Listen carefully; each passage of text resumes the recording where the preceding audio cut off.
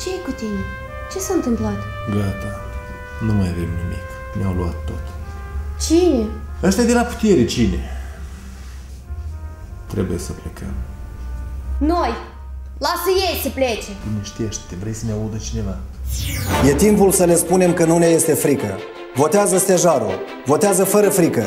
Votează Partidul Liberal Democrat din Moldova. Votează Stejarul. Votează Partidul Liberal Democrat din Moldova.